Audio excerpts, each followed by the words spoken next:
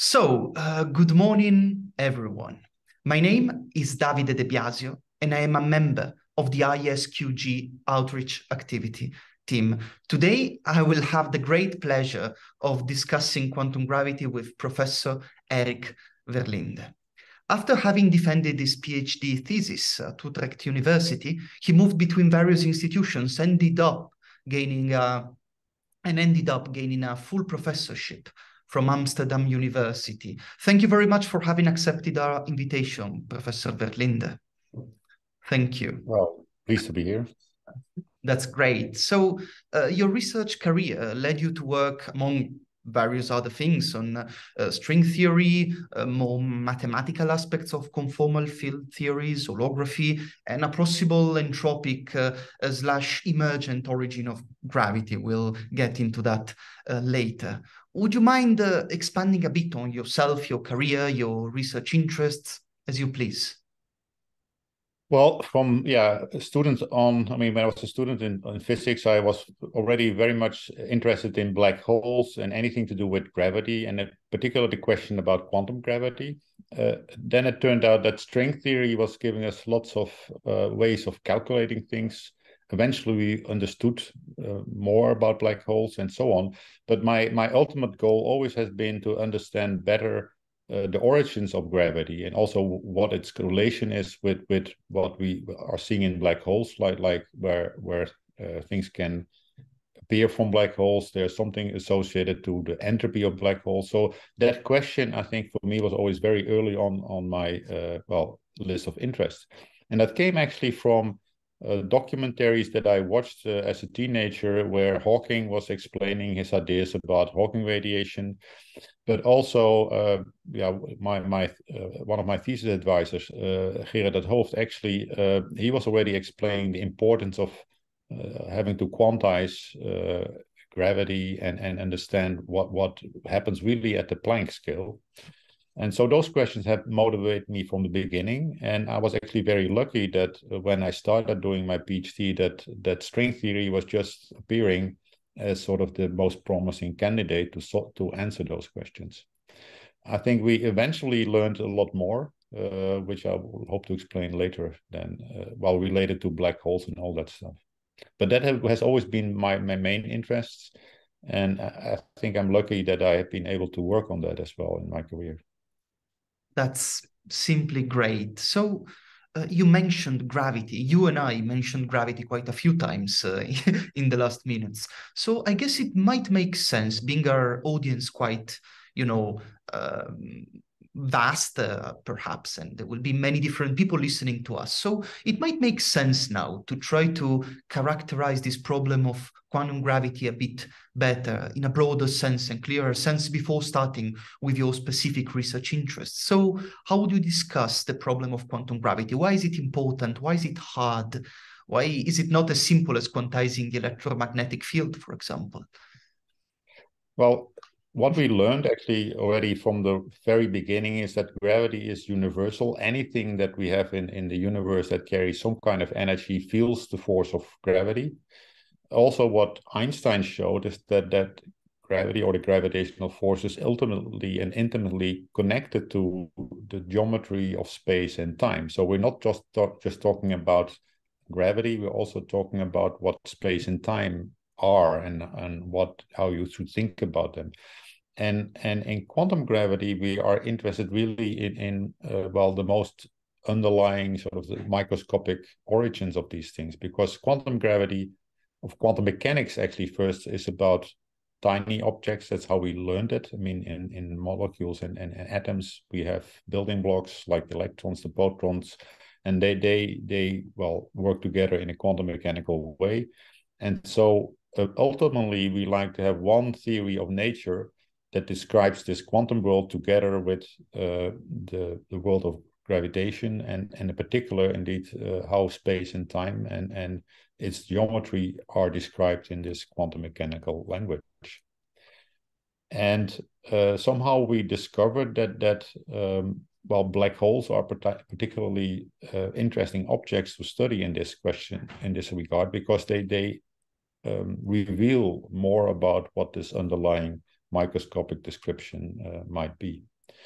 Uh, and the other approach that I studied a lot is this idea of um, string theory, where indeed what we notice is that uh, what, why was quantum gravity hard had to do with when we did our calculations using more conventional ideas like that particles, the elementary particles are really point-like, that we would run into all kinds of difficulties. I mean, the, the problem of quantum gravity is that the calculations that you do naively sometimes give you infinite answers, which don't make sense. We'd like to uh, understand actually, of course, our world in a way where we can calculate and get finite answers and even, well, uh, um, yeah, have, have a microscopic theory from which we can then calculate those uh, those quantities. Okay, so to summarize, uh, on one hand, we have general relativity, uh, which taught us that gravity and space-time have a lot to do with each other. On the other, we have quantum mechanics that kinda uh, could be defined as a language in which we write all the microscopic interactions in our world. And it's really hard to merge the two. And there are various options, various directions. Do you agree with this brief summary I made? Yeah, that is kind of where the where the heart of the problem lies. That's correct. Perfect, perfect. Uh, so, but in this whole business of quantum gravity, you mentioned black holes a few times. So, uh, and since black holes kind of offer us a natural way to enter the, the topic of holography and then of all other nice things we'll discuss today, would you like to uh, briefly comment on black holes? What are black holes? Why are they, well, before what they are, and then why they are important in the context of quantum gravity? Okay, so so black holes are, are the objects in, in, in the universe where most uh, well, gravity is the strongest. I mean, gravity pulls things together. Yes. And it may happen that, that the gravitational pull is so strong that all the matter that we have can be sort of pulled together into regions of space where, um, well, the gravity is so strong that even light cannot escape because uh, gravity affects everything that I said. Uh, I mean, even light is being uh, curved by by uh, gravity, and it can actually be captured by the gravitational field. And that what happens with the black hole is that there's some uh, if there's a black hole sitting somewhere, there's some imaginary sphere that you can uh, draw around it. Where if you go beyond uh, the the surface of that sphere, then you're inside the black hole, and then even light cannot escape. So there's no way that a signal from inside the black hole would be able to reach us. And this is why they're also called black, because there's no light coming from them. But this sphere around them we call the horizon. Uh, I think nowadays people have uh, well heard a, lot in the in, in the news about maybe even pictures that we have taken of of black holes, where we almost can see the horizon. It's the, this uh, image of a black hole that that also um, well that we study actually also using the more theoretical methods because this horizon is really what, what a lot of puzzles about black holes are about. Uh, black holes um, for instance cannot um, well just release the mass cannot escape from them. And so there's always when two black holes for instance meet each other they will always make a bigger black hole. So the horizon somehow is always increasing in size and and this is what what made us also pos- uh, well think about what is the interpretation of the area of that horizon. And this is where the connection with with with um, holography comes in because um, somehow we we have realized that the amount of um, well what you can throw into a black hole i mean there's some entropy or some information that you can associate it with that that somehow that this horizon is a way of measuring actually how much we have actually thrown into the black hole. Uh, it's somewhat like like what we know, namely in in thermodynamics, is that entropy also always increases, and and so this increase of the horizon area is kind of the analog of what happens in thermodynamics that entropy always uh, increases, and and that makes a very uh, well interesting connection between the laws of thermodynamics and the laws of gravity, which is, I think is, is one of the bigger discoveries that came out of the work of, of uh, uh, Hawking and, and others. Well, uh, in this sense, let me please stress you one point for everyone who's listening to us. Uh, the the fact that nothing can escape escape a black hole. You mentioned light, but it's important to stress that uh, special relativity teaches us that nothing can exceed locally the speed of light or, or, of light. Well, nice slip of light in a vacuum. So that's the point. If light cannot escape black holes, nothing, no signal, as you said, can escape black holes. And you use this word holography to refer to the area of the black hole, right? So uh, when when you say uh, holography, you, you, you really mean that physics black hole physics should be characterized by some theory, something living on its horizon instead. Because we usually, like naively, let me uh, play the role of uh, the street man, right? But naively, I would expect black holes to be characterized as any other object by what by what's inside them. But clearly, nothing inside a black hole can communicate with its border, right? With its event horizon. So what you mean is that physics of black holes can be, in a sense, reduced to their horizons, at least at first approximately level? Yeah, well, so one of the important things you have to uh, also notice that that when um, things fall into a black hole is that that even clocks start behaving differently. So when we look from the outside, we we see basically that the person or something that falls into the black hole almost stops and and and stays at the horizon. So you never really cross the horizon. So from our outside perspective the horizon is the end of the world and and there's nothing that we need to sort of talk about what's inside the black hole and indeed we cannot communicate with that. Uh, the other lesson that we learn is that if you take a certain region of space and and you want to sort of put more uh, matter inside that there's a limit in how much matter you can put in. Namely at some moment when you start putting more inside it starts forming a black hole. And that made us think about what is the amount of information that we need to describe uh, anything inside a certain volume. Uh, turns out that that the most well when i want to put things inside like well books, uh, other things that, that carry information. The maximum amount that I can put in is exactly when I start putting so much well matter and books and information inside that they start forming a black hole. And so then the amount of information is exactly given by kind of the area of its horizon, mm-hmm. which is then sort of the boundary of that volume of space that I was considering. So we have sort of a way in, in which we think about describing a part of space, for instance, like the inside of a black hole, as having uh, all of its information sort of uh, put or sort of, how should I say, projected onto the, the, the surface of its, well, the ball that, that is containing it. This is what, what looks like a hologram, because for a hologram, you're also having a two-dimensional picture from which you try to sort of reconstruct a three-dimensional image. So all the information is on a two-dimensional hologram, but the actual thing you're describing is three-dimensional.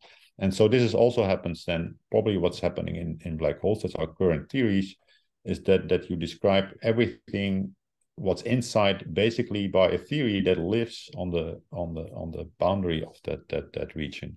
And this is called holography and and it certainly has been uh, one of the main ideas that many of our our colleagues have been working on, including also myself, uh, namely that that indeed in a theory of quantum gravity, kind of the information of what you need to describe what's going on in the space time kind of lives lives on its boundary, uh, like a hologram.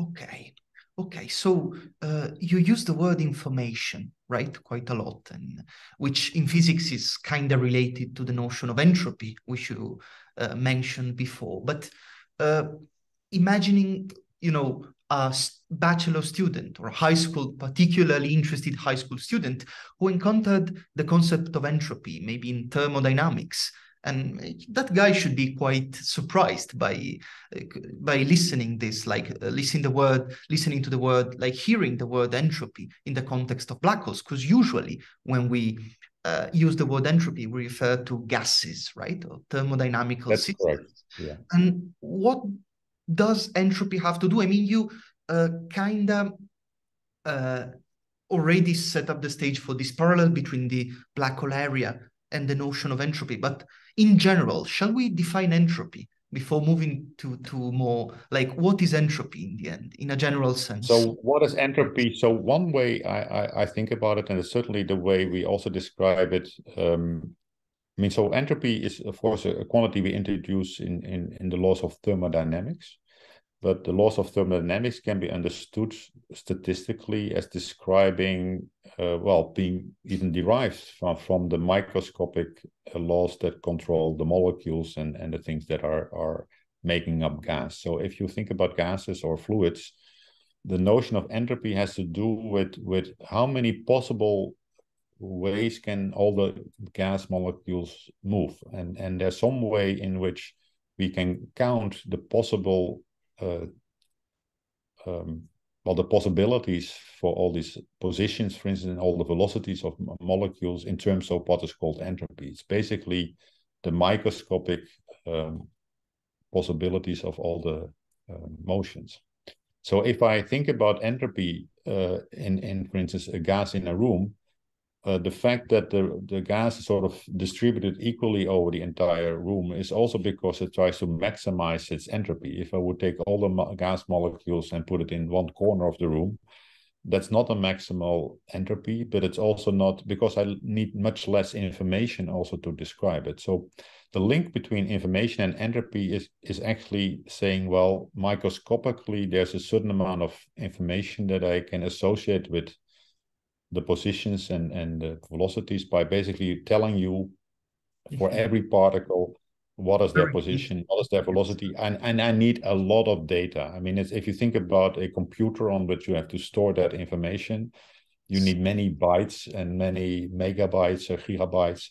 And, and actually, the, this idea of counting entropy in terms of information is actually goes back to Shannon, who indeed showed that if you think about the number of bits uh, or bytes that you need to describe describe say where all these molecules are if you count them that would be a very good way of defining the entropy of that uh, that system. Okay. and so with with uh, black holes actually the the way that we start understanding why there was an entropy associated with them was actually a thought experiment. Um, because in, in laws of thermodynamics, we know that entropy always increases. And it was actually John Wheeler that asked the question, if I have a, a, uh, a box with a certain amount of gas in it and it has a certain amount of entropy, and I try to hide from you that I have this entropy, yes. um, can I, if I throw it into a black hole, uh, how do you know where the entropy has been? I mean, and, and can I still recover the fact that the entropy has to increase? For instance, if you have uh, a cup which you fall, then of course the entropy is larger than when it's still a, a full uh, cup. I mean, uh, you can break things and then the entropy increases. That's one way to think about it. But if I try to hide that by throwing it into a black hole, you would not have known what I have done to it. And so there's some way that we have to start um, saving almost the, the, the, laws of thermodynamics when we are dealing with black holes. And, and it was Bekenstein who discovered that in order to make sure that entropy always increases, that we have to associate an entropy to the black hole that is given by the area of its horizon, because in that way, any entropy that I try to hide by throwing things into the black hole will then be recovered from, by looking at, at the size of its of the horizon. Okay, so this is some kind of thought experiment, right? You have entropy, which more or less roughly counts the number of distinct micro configurations that give a particular macro, like big, from a big human perspective configuration. And you know that this thing, this entropy must increase. It is related to information, as you said. But when you have a black hole and you throw something in, entropy seems to be destroyed or hidden, at least from an outside observer. And since the only thing that happens is that the black hole grows, you must associate this entropy growth, recover this entropy growth, associating an entropy to the area of the black hole. Is this correct? That's correct. That's the way. Yes. So you have this nice parallel, right, between, as you said, areas that, on, that only increase, entropies that only increase. So there seems to be an interplay between black holes and thermodynamics. Does this suggest, in some sense, at least at a speculative level, that black holes might be thermodynamical systems, like compo- in the same sense of gases or that's right. I mean, that's true, and that is kind of what was uh, studied by by Bekenstein, and then directly after that, Hawking came around because he said, well, if if black holes have entropy, I mean, every thermodynamic system that we know about that has entropy also has a temperature, because that's well what thermodynamics is about. It's about how hot objects. So what the, the, really surprising discovery was of of um, uh, Hawking was that if you include quantum mechanics, then you discover that black holes indeed have a temperature. There's a certain way that the quantum uncertainty allows, namely, uh, particles uh, to be sort of, well, created by quantum fluctuations. Um, and and the way they, that happens in the vacuum is that you have a particle and an antiparticle that can exist for a very short time. But then if they annihilate again, there's nothing wrong because then you, well, you don't see them. But for black holes, in the neighborhood of black holes, something uh, well special can happen. Namely one of the two particles falls into the black hole the other one can escape. And that was what uh, Hawking calculated. And then he discovered that black holes actually emit thermal radiation with a temperature that we now call the Hawking temperature. And then if you wind down the the law that tells you that indeed the horizon area would increase if I throw something into the black hole, that law starts looking exactly like also the laws of thermodynamics. Uh, namely, how? I mean, um, the mass of the black hole, if you think about it, uh, Einstein showed that energy and mass are, are um, proportional, and so E equals mc squared. So the mass of the black hole you can think about sort of as the energy of the system, and then one of the laws of thermodynamics tells you that if you increase the energy, there's also an increase in entropy, uh, and the proportionality constant is given by the temperature. And, and, and Hawking showed that exactly black holes have the same uh, property that if I throw something into the black hole, I'm increasing its energy. And then the increase in the area of the, of the horizon is exactly given by, well, um, the change in energy times the Hawking temperature. And so you find that the, the laws of, of gravity and how, how they tell you how the size of a black hole increases if you throw a mass in exactly takes the form of the laws of uh, thermodynamics. The same, the same equation. So if you have on one side a black hole and on the other a thermodynamical system, and you associate the mass of the black hole to the energy, the black hole area plus up to some constant to the entropy and the temperature to the temperature, like we discovered the black holes have temperature, you find some laws for black holes that look like thermodynamics laws. Is that correct? Yes, they, they don't only look like, they're identically the same. I mean, there's no difference between them. And I, I think that is a, really uh, important discovery that was, as I said, made by, by Hawking and collaborators. Uh, I mean, there's uh, Bekenstein and, and, and many people kind of involved. But what it tells us is that something really fundamental about, about gravity and its connection with quantum mechanics, because for the laws of thermodynamics, we now know that they can be derived. They can be derived from a, a microscopic understanding of how molecules work and how, how um, atoms move and by by looking at them statistically, I can uh, derive laws of thermodynamics.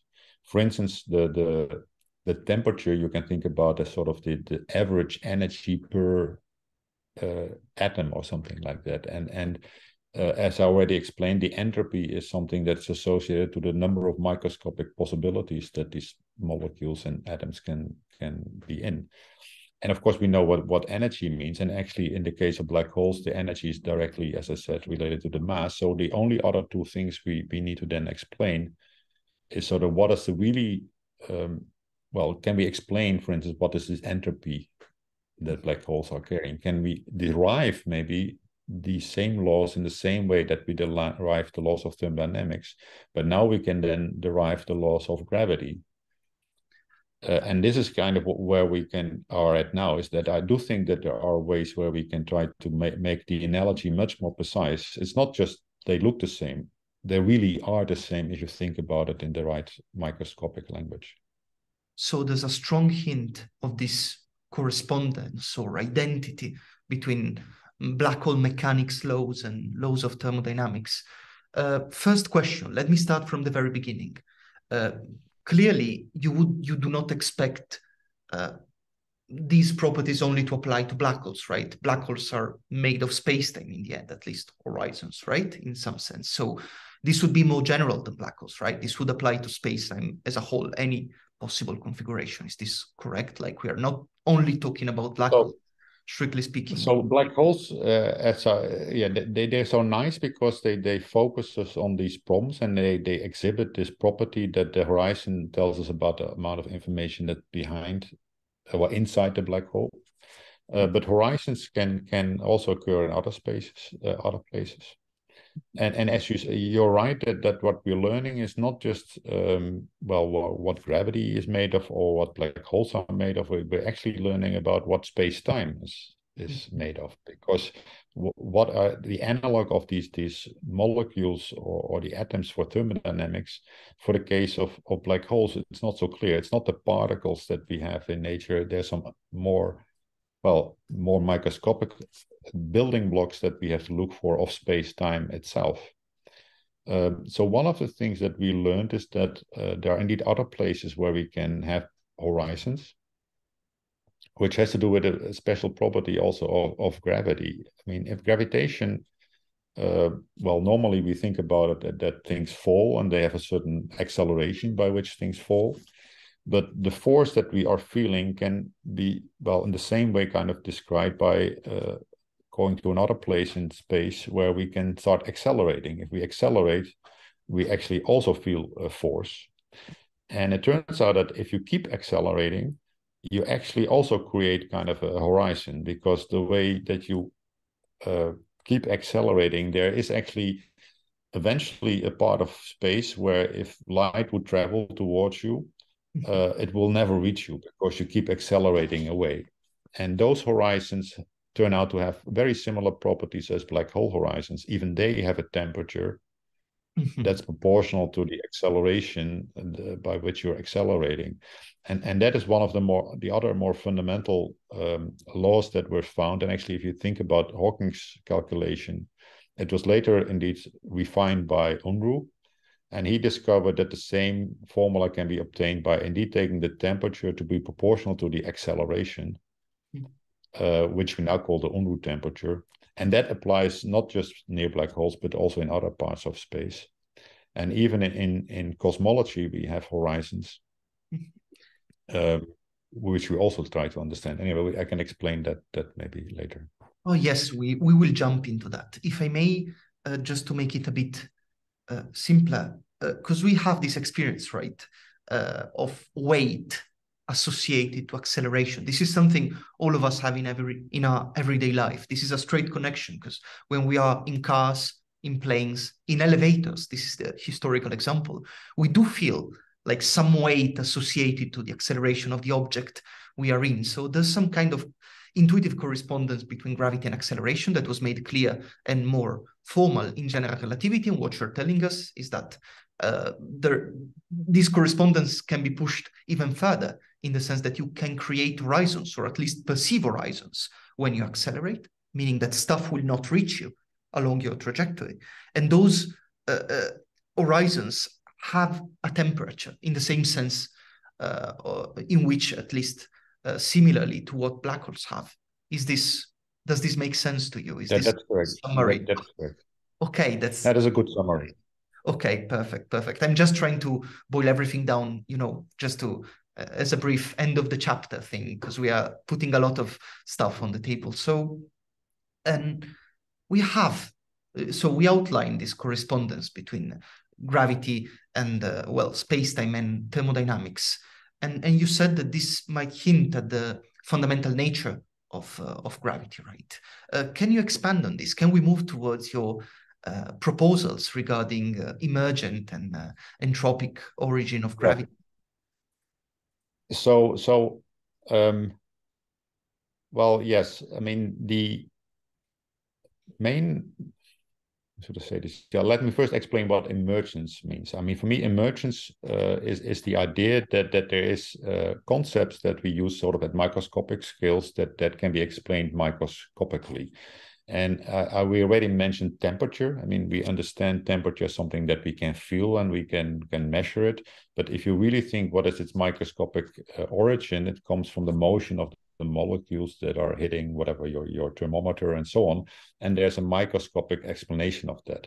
So temperature, I think about as an emergent uh, concept. I mean, it's something that pressure. we can associate at and pressure is the same thing. Pressure is also something that is only a measure of all the molecules together, and it sort of tells you that the average motion or the velocities that that molecules are having. So something similar seems to be now uh, happening with with gravity. So the equations that that Einstein wrote down, uh, telling us how space time is curved and and and how it reacts to matter uh, by by matter curving space, and then well the way that matter mo moves in space time. Somehow we have to then find the uh, derivation of that very similar as we can derive the laws of thermodynamics. And and one of the um, important um, well, clues of course come from black holes, but more generally from horizons. And so I um, indeed made the proposal that we should think about um, the origin of gravity indeed in the same way you think about of well the explanation of, of the laws of thermodynamics. So one of the insights that I, I got is that uh, when you um, look at forces, there are also forces in nature that that can be explained from from well changes in the amount of entropy. I mean, we already mentioned that if you um,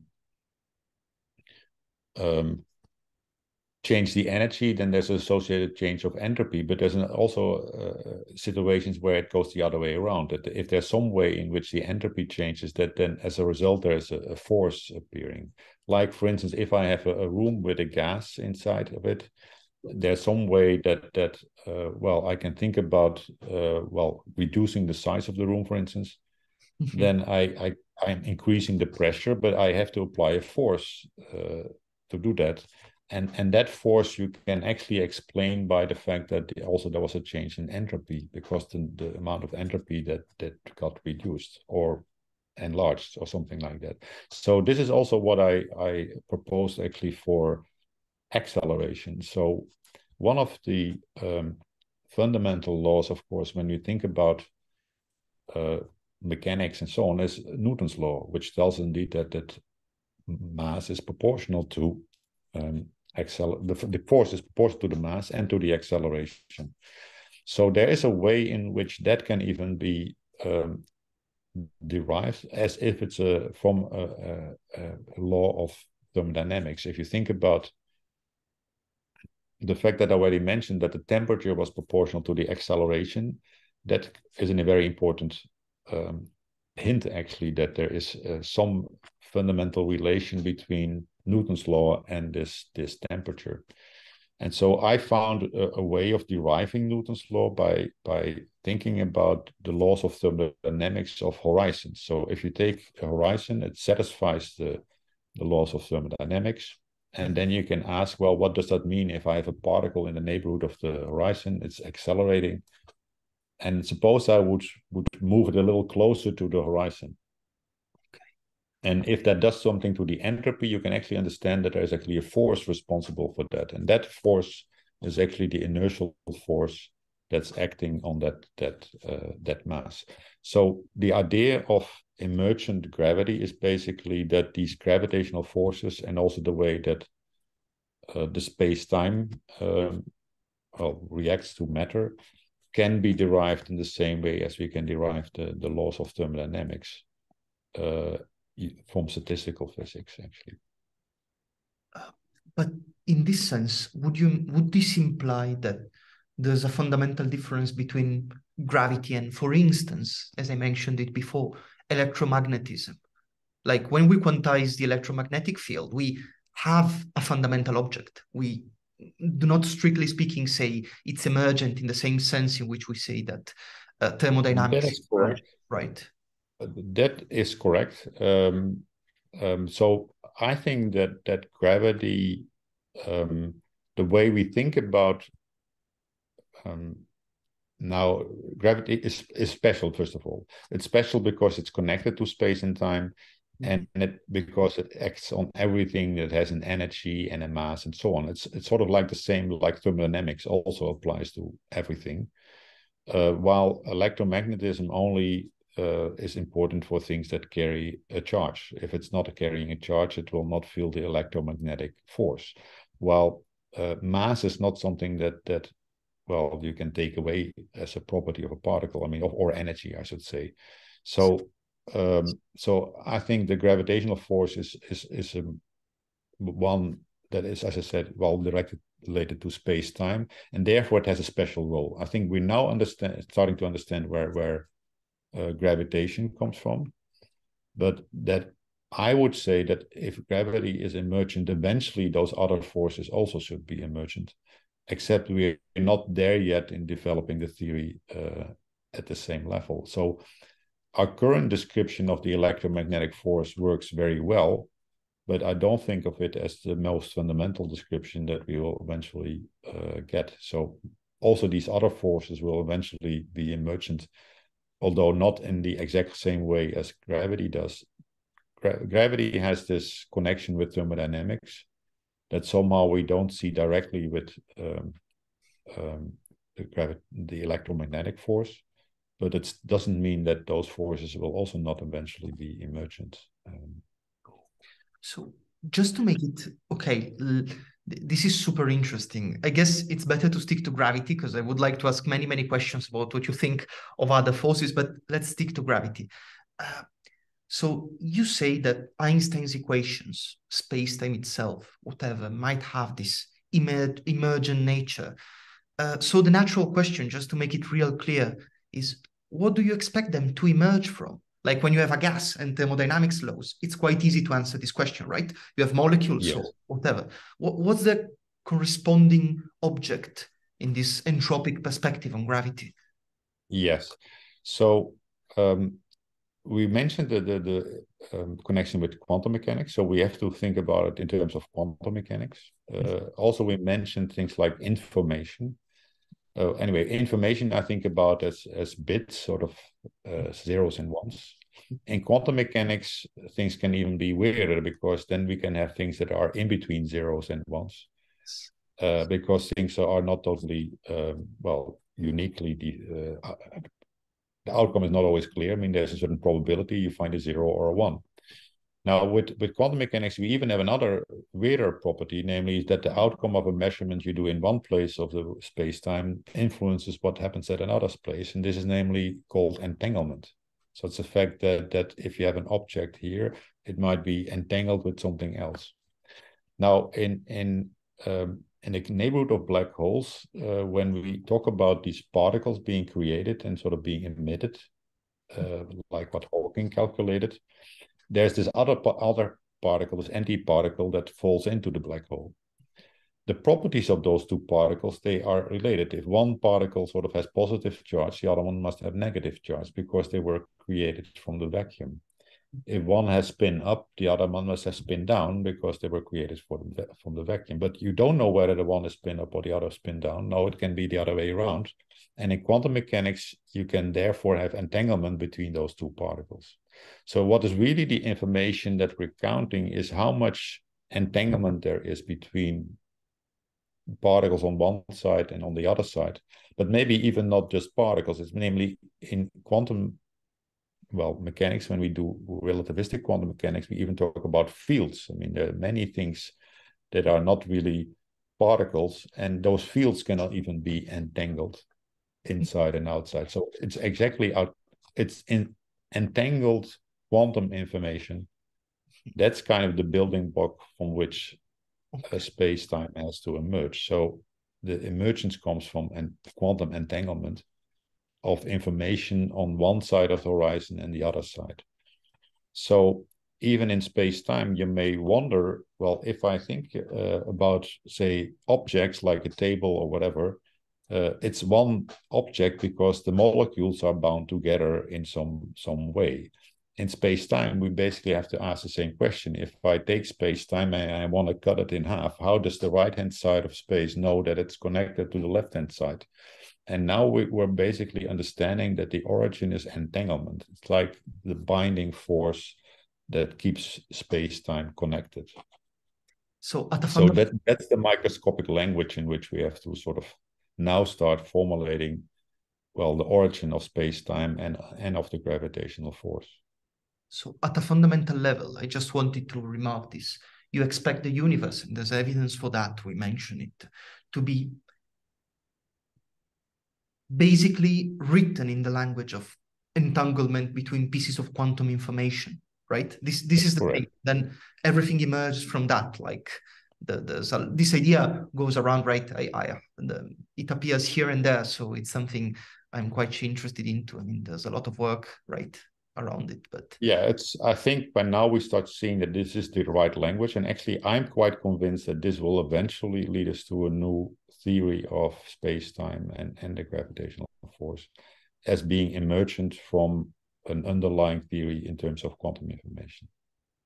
Okay, so this is because often, right, you hear people um, discussing correspondences or dualities or identities between uh, space-time and uh, entanglement, entropy or information. Here, you're really saying something stronger than that, right?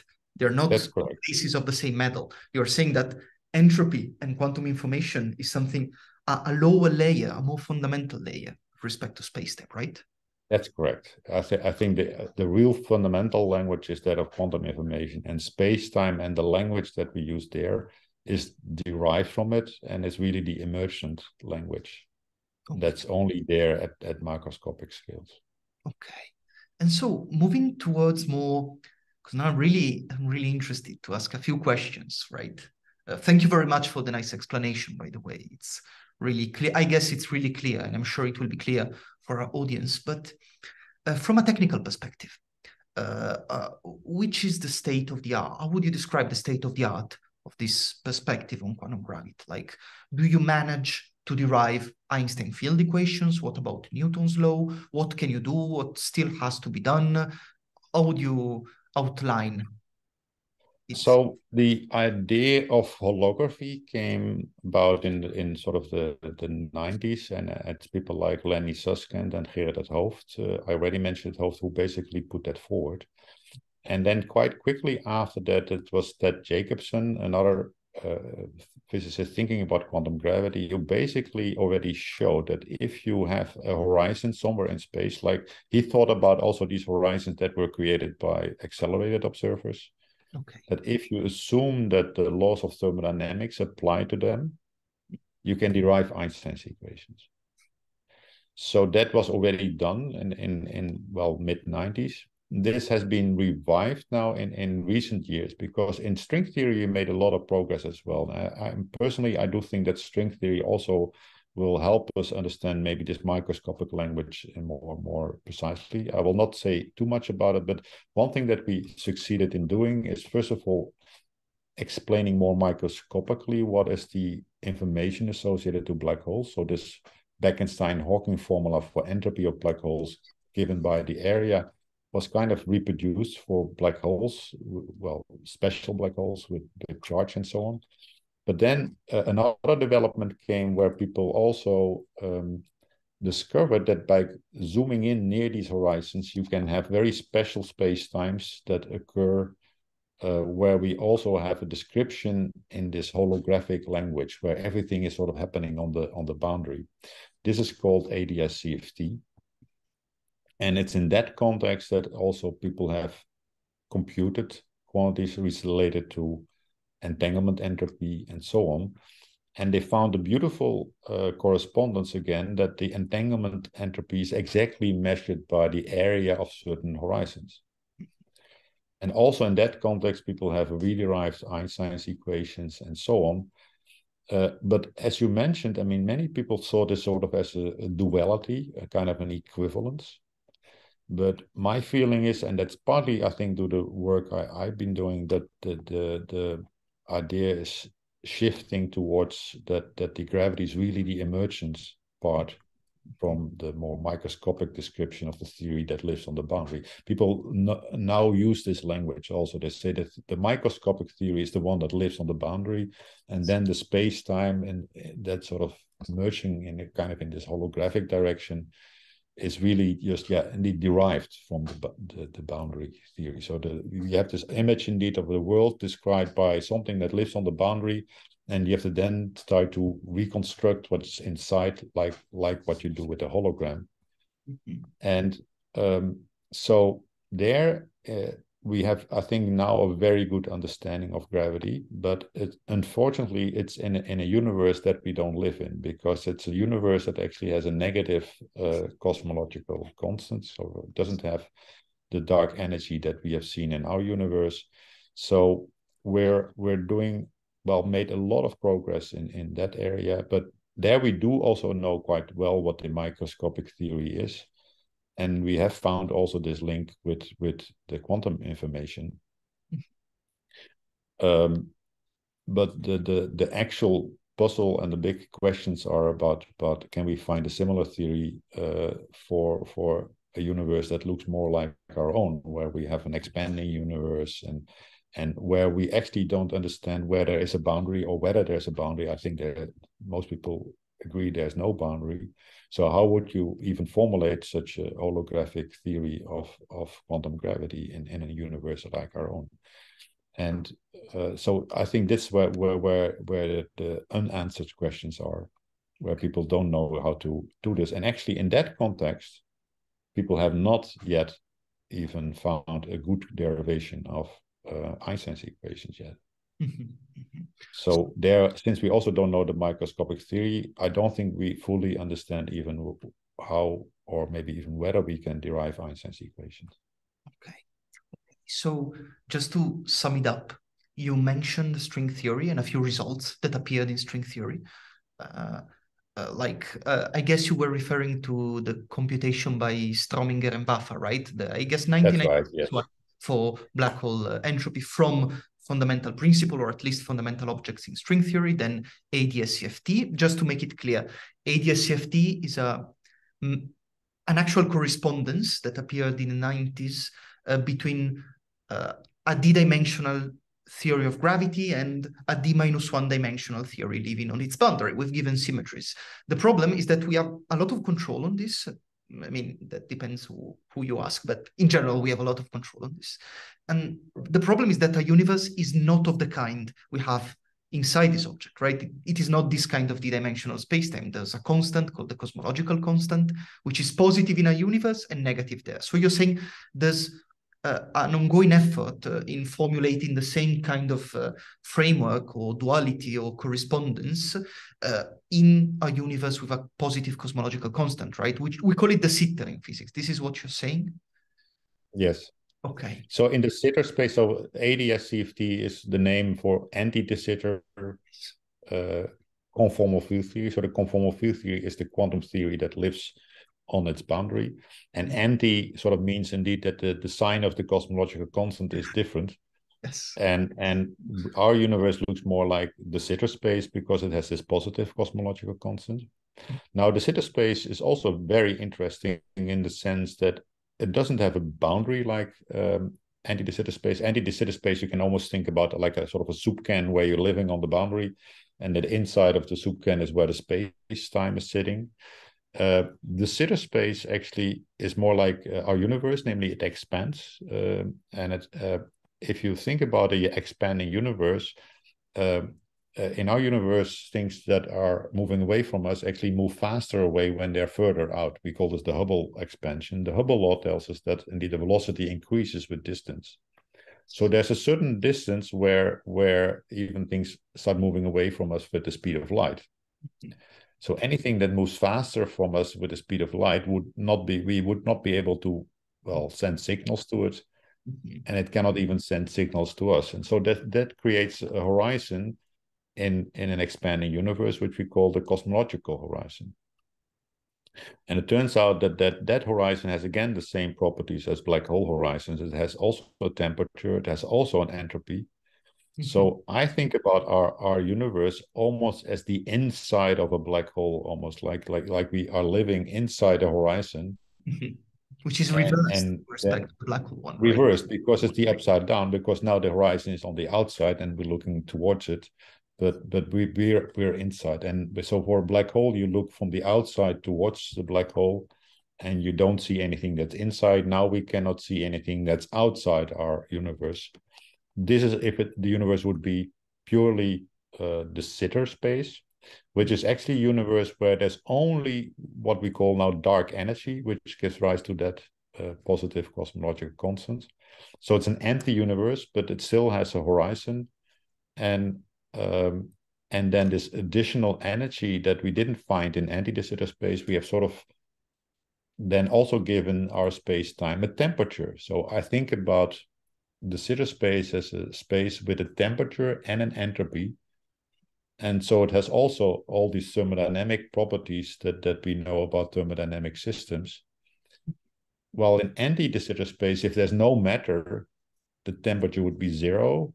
There would be no entropy. So it's a very dull state. It's namely just basically nothing there. It's just the vacuum. While in, in de Sitter space, it appears that the vacuum is much more interesting because it contains this positive energy. It also has an entropy and it has a temperature. And, and we still have to try and understand that because for black holes, we have this theory of, well, Vafa and Strominger that explained for us how these things sort of can be explained microscopically. But for de Sitter space, we don't have this microscopic theory yet. So yeah, we are still having trouble understanding um, those kind of space times. Well, uh, let me uh, let me comment on a brief point because I've been on YouTube for a while, so I'm sure this will appear in the comments afterwards. When you said that in de Sitter space, I, I mean, we can think of de Sitter as some inflating object in some sense, right? So the further two points are, the faster they, they appear to move away from each other, right? Because space time between them yeah. inflates, right? Uh, this does not, and if we are far enough, uh, it looks like we're moving apart faster than the speed of light. This has nothing to do with special relativity, right? Because people tend to ask this question, right? But does this violate special relativity? No, not at all. We're there, we are talking about local velocities in space-time. Here we are talking about an effect that really kind of mimics the fact we're moving apart from each other faster than the speed of light, but it's highly non-local and it, it's perfectly consistent with special relativity. Just wanted to say yeah. that this comment would have appeared. So you're saying that this expansion generates an effective horizon or some kind of cosmological horizon, as we call it. And that behaves precisely yes. as a reversed black hole horizon, right? So you expect a space-time yes. to uh, behave that way. Okay, this is super interesting in, in a sense. This is one of the very, mm, I mean, most fascinating ways in which the quantum gravity problem is tackled in, from my perspective. But let me kind of shift to the side a bit and ask a question which uh, uh, which might be of interest. Uh, given your uh, emergent entropic gravity proposal and this kind of perspective, uh, I- am not uh, asking for mm, actual results. You might have them, but what do you expect the most natural phenomenological implications to be like, where do you expect signals of this kind of entropic or emergent nature to be found? Like, I'm not asking you to design a, a, full-fledged experiment, just some hint. No, but I, okay, uh, that's a, a, very good question, and, and and I have ideas about it, but not the full theory. I have to say, but I what I find fascinating is that uh, in in de Sitter space, um, as I said, we don't have a full theory yet of how to derive the laws of um, uh, or, or even the equations of Einstein. Uh, but I think that that uh, the fact that we are then having a, a space time that has itself an entropy and already a temperature might actually make the the whole derivation somewhat more well different from what it is in in these other space times. And and what I do hope is that that when we start um, understanding how we derive these laws of gra gravity, in a universe like our own with dark energy and with this entropy and the temperature that there might be slight deviations from the laws of Newton and of of uh, of Einstein. I mean, Newton's law are kind of contained in Einstein's laws if you think about it. For for for very weak gravitational force and so on, Newton's law are derived from well, derivable from from general relativity. Uh, and and of course, normally when we think about uh, a, a, next theory in, in theoretical physics, usually the old theory is sort of contained in it. but there are also situations when when the old theory fails. I mean, like in in in Newton's case, it was uh, the perihelion shift of uh, Mercury where we found deviations. And so the question is, is, are there also deviations maybe from from general relativity that can be uh, observed that are the consequence of the emergent nature of of of gravity? And I, I think that actually in the cosmological situation, we have many questions that we don't fully understand. And and well, it's even a natural place to look at because what is cosmology? Because cosmology is concerned with how where the space time come from, how did it begin, and what was its origin, but also how we understand the, the bigger space with everything in it, like the dark energy and so on and and I think that there the emergent law of gravity, the emergent perspective on the laws of gravity, actually can give us hints of um, well, what is dark energy? Maybe what is maybe what we're observing, namely are deviations from the the the laws of um, Newton and, and and Einstein that have to do with how galaxies behave. Now we have ways of sort of filling in those gaps by by assuming that there's dark matter I mean, people see generally these deviations as evidence that there must be more matter in there. But I think that might actually be something that we might explain in a different way if we understand the, the laws of emergent gravity. And I hope that actually that um, turns out to be true because then we have plenty of ways of trying to make experiments because then then we can observe these phenomena in cosmology. There may also be ways in which um, emergent gravity kind of influences how we think about the early, very early universe, where we have some problems now. Also, for instance, people don't fully understand the way that the Hubble constant can be sort of measured now and how it compared to what happens in the early universe. So I hope anyway, for me, always the, the best way to look at it is is in in um, is in cosmology. Um, I have to say there are maybe some other ideas that that are connected to maybe fluctuations that may happen in space time. This is sort of this generally what you think that uh, gravity, quantum gravity is about, because quantum effects are fluctuations, and um, so if if space time itself is really quantum mechanical, you might try to look for for quantum fluctuations that happen at a certain scale. Uh, if it happens to be the case that well, normally we think that quantum mechanics and gravity is only important at the Planck scale, which is a very, very tiny scale, like it's 10 to the minus 32 centimeters, I think, if I'm saying this correctly. But anyway, it's much smaller than we can ever measure or even imagine. But yes. maybe these quantum effects can be more, more important if we look at uh, also, well, bigger scales that they kind of accumulate anyway, that is uh, also speculation that I think might be kind of looked for. But my hope eventually is that emergent gravity gets tested in in uh, these other areas that I mentioned in cosmology. So that's my my current uh, bet, at least that that's where we can find evidence of this theory. So, on one side, you expect effects might emerge in uh, emerge in. Um, uh, for instance, interferometers, right? With a big enough interferometer, you might expect uh, statistical noise or quantum fluctuations to accumulate and introduce some effect in our measurements. Is that yes. with the latter perspective? And I, I well, I see that as a kind of independent idea from what I explained for of, of cosmology and so on. But uh, it's true that that uh, those op- those possibilities are there. Uh, but if you ask about specifically the emergence of gravity, I think the that I would bet more on the cosmological observations that I mentioned in the beginning. And that's why I, I wanted to deal with that one first and then move to cosmology, because uh, and in particular to galaxies, because as you said, we observe galaxies, their rotation velocity, and we it that does doesn't really check with what we obtain from general relativity. And people usually expect this to be due to the presence of some matter that we cannot observe directly, maybe because it doesn't interact with light. So that's why it's called the dark, typically, which but there are other options, right, in literature, ad hoc solutions. For instance, what people refer to as modified Newtonian dynamics, like MOND. In MOND theories, you take your equations like Newton's law, that's enough, add some terms by hand, mm this is rough, and explain this, or at least model this by adding terms. Yes. Uh, rephrasing what you said, do you expect, just to say, just to see if I understood correctly, uh, do you expect some kind of Mond dynamics, some kind of Mond effect to be derived in the end from emergent gravity? That's like right. So that properly you derive yeah. something like Mond. Yes, I, I think that that I have to admit that first, just the idea of changing a law by adding some terms, I, I, think that's usually not the way that we find new uh, laws or new theories of nature because somehow Einstein didn't do also just writing some extra terms in, in Newton's theory.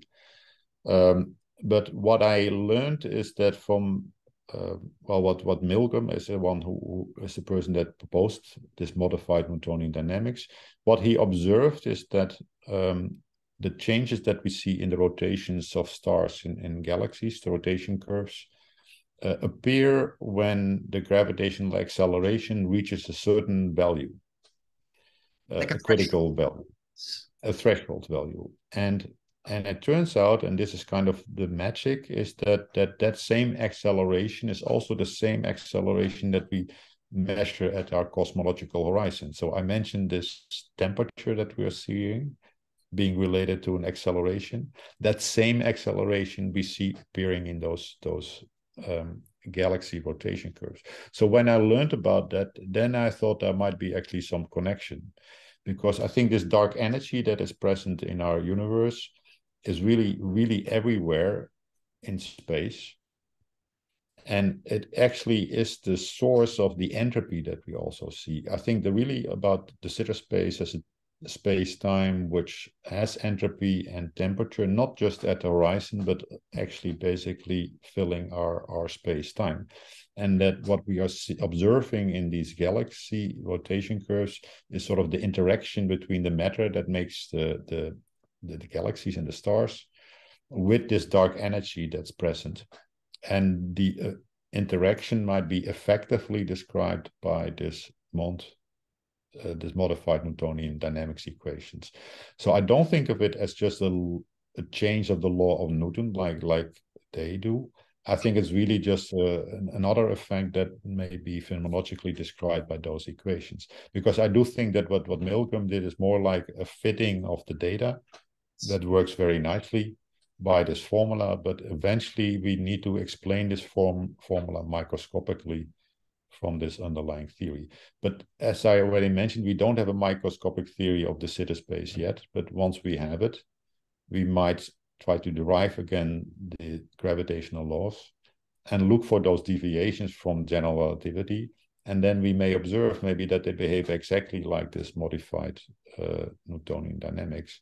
And then we have uh, really found evidence, I find, for our theory because we can then, well, maybe even make predictions that we don't know about yet and start measuring them because those observations are, are really possible because they don't require us to build very high, um, well, energy accelerators or or or indeed doing measurements at, very very tiny scales. They're, they're cosmological observations that we can use then to test our theory.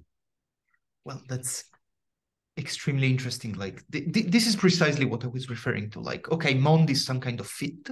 I, I defined it as a phenomenological model, but yeah, it's more or less a fit.